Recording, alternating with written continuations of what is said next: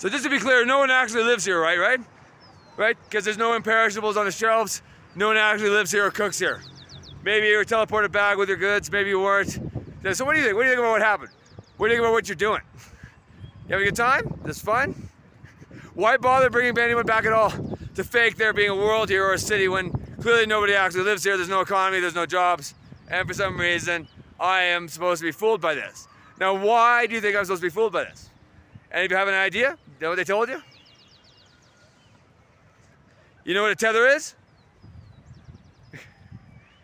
Check out Natural Disaster YouTube channel and www.dreamcatcherlaw.com.